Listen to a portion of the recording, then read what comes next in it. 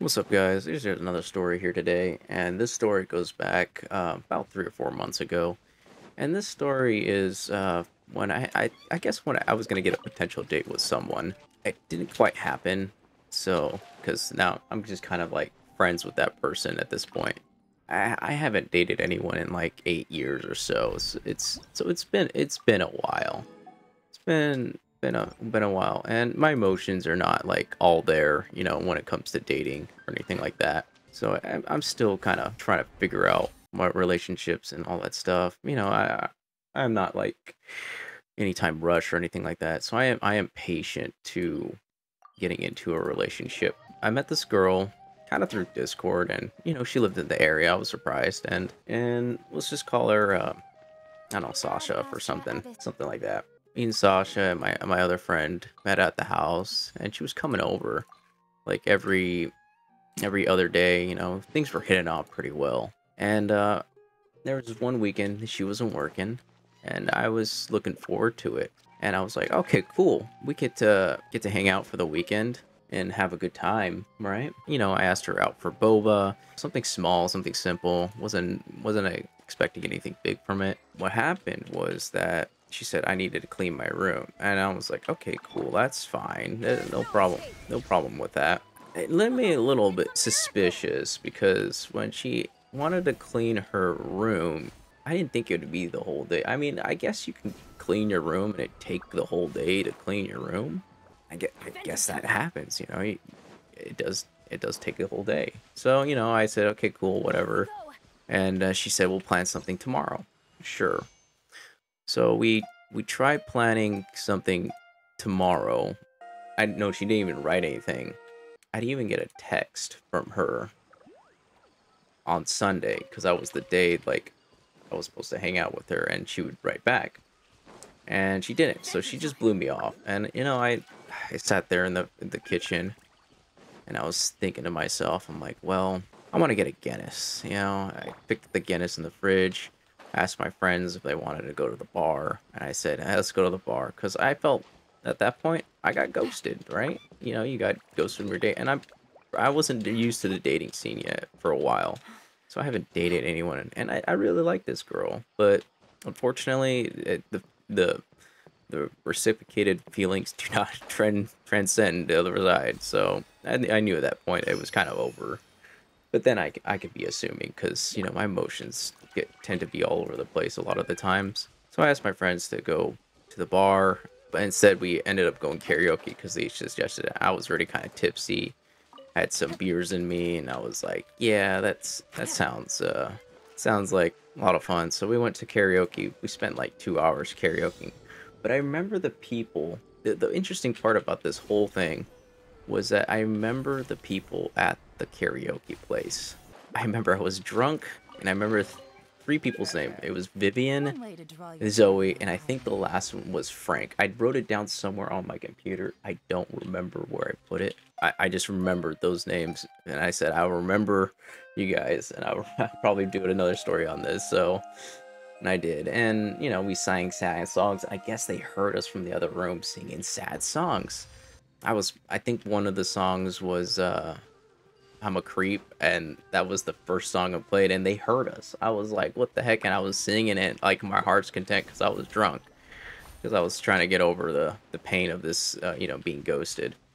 And you know, they came over. I gave her, I gave Zoey a hug, and I was like, oh, you know, thank you, Zoey. You made my day, and you know, she brightened my day after you know getting ghosted by a girl when I told her that, and then she's like, "Oh, it's okay," and I'm like, "Yeah, it's all, it's it's it's fine, no worries," you know.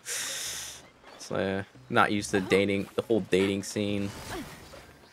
It's funny because my other friend Danny was telling me, you know, I, it's like he sees this connection. I, and I was like, yeah, whatever. Because I was coming over, she was coming over to the house every every other day. And, you know, I was making those Starbucks Starbucks drinks for for her. It, it was uh, one of those interesting things, making Starbucks drinks at four in the morning, and she would come over because she worked at a night job, and I guess she I still kind of talk to her, but we're not like friends friends. It's more of like acquaintances at this point. But at the same time, I'm like somehow she was able to like after like not talking to her for like maybe like two or three weeks because I was like, you know, I've already moved on at this point, right? I didn't care because I did I did something stupid, right? I, I basically like, you know, deleted her from Discord. I kept I you know didn't keep in contact anymore because I knew it was like for me I thought it was already over, but my friend invited her to their house on the house like probably like three weeks later. See this girl again. I'm like, oh gosh, what why is she doing here? You know, is that she she was she was there in front of me again, but this time as an acquaintance, I was kind of standoffish because I didn't want to get involved or anything like that. You know, kept it friendly, just being nice and everything. So, you know, she took me to Comic Con. It was really cool that she did that, and uh, that was really nice of her too. And and she considered me as like a close friend, so I knew I was friend zoned at this point. So I was like, yeah, it's it's fine, it's whatever. Um, was no, there was no chance. And the other thing that caught me caught my eye attention was that she was talking about another guy, and I was like, ah, damn. So she's talking about another guy.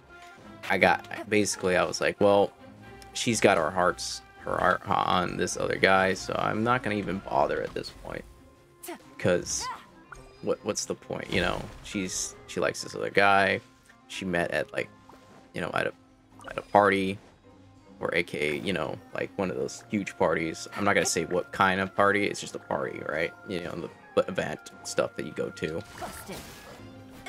Yeah it's just and the other thing was that she was like being very hot and cold with me. She's like very unsure of what how her feelings were you know but but then like it it just at that point she was just talking about the other guy more and more and and then she, she talked about her ex and i was like okay i i realized I, I, I dodged a bullet in a sense. I think i did because it seems like red flag you know to me and you know hot cold stuff like that. My my said he thought he said he can make it work even though I don't think it'll work. You know, you're already set on your mind with this other guy. So I'm like, if they want to make the relationship work or not. And maybe I could have done better on my part. You know, I, I made mistakes. Uh, not, not, I'm not, I'm not gonna say that I didn't make any mistakes. I made a lot of mistakes, and, and that's because I wasn't used to the dating scene. So, lesson learned. You know, but at the same time, I'm not feeling too bad about it. You know, even though I got ghosted, but then like she came back. Weirdest part, eh, you know, it's just like she missed the time that we hanged out in Discord at night. You know, I'm like, oh, that's interesting. You know, so I, I get like mixed feelings a lot of the times with this person. I'm not sure. Like it doesn't make any sense sometimes. I'm like, eh, it's it's in the past now. It is what it is. There's another story with this Airbnb, but I wasn't planning to go, and that's another day I'm probably gonna talk about because that was a long trip. I'm not saying it was bad, but I just felt like I was working the whole time because I wasn't planning to go to this trip. So, yeah, I got ghosted by this girl. Maybe one day I'll find the person. There's someone out there for me eventually, hopefully. Maybe not now or later, but be quite interesting. Oh, there's the last one. If I find, you know, find someone, you know, this it, it is what it is right now. So it's a story and a doozy, you know? Well, this one's kind of like a bad negative experience, but you know, it's a story. At least I told it and you know, share my experience. And I, I know I'm not the first person that's gone through kind of something similar to that, you know. So it's just this is that's pretty much what happened to me. So yeah, that's the story when I got ghosted, you know.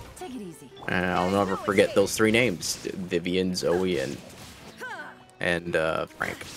I think his name was Frank. I'm pretty sure I might be thinking of the pug because the, we have a pug, and it's my roommate's pug, and his name is Frank too. So maybe I just maybe it is, maybe it's not. I'm not. I'm not sure. So. Thanks for watching. I will see you guys in another video with another story.